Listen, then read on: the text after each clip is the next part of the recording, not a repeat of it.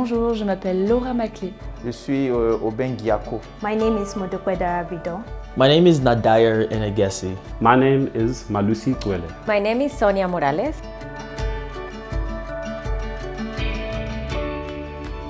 Alors on travaille sur la question de la mobilité en zone rurale au sujet de l'éducation pour les primary schools, tout ce qui est éducation informelle et formelle pour les enfants et les collégiens aussi, autour de la hum, digital literacy.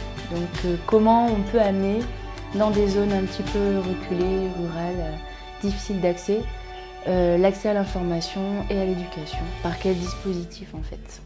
Because we cannot afford to leave anybody behind.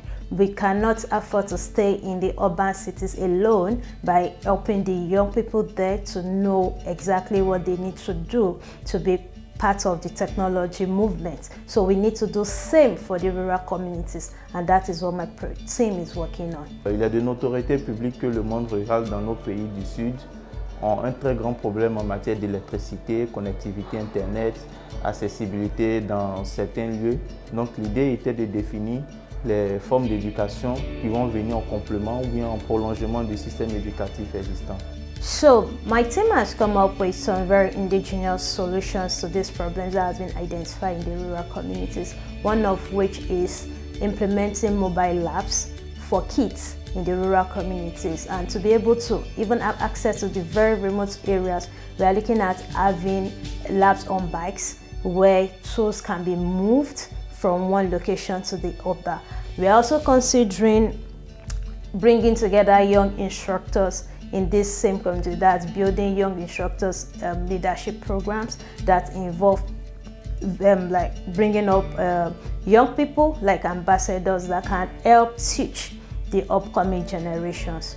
Donc c'est des modèles d'éducation mobile qui vont impliquer différents acteurs locaux, des associations pour pouvoir émuler les écosystèmes et puis les systèmes éducatifs également pour pouvoir euh, redonner du sens à l'éducation sur la base du travail collaboratif.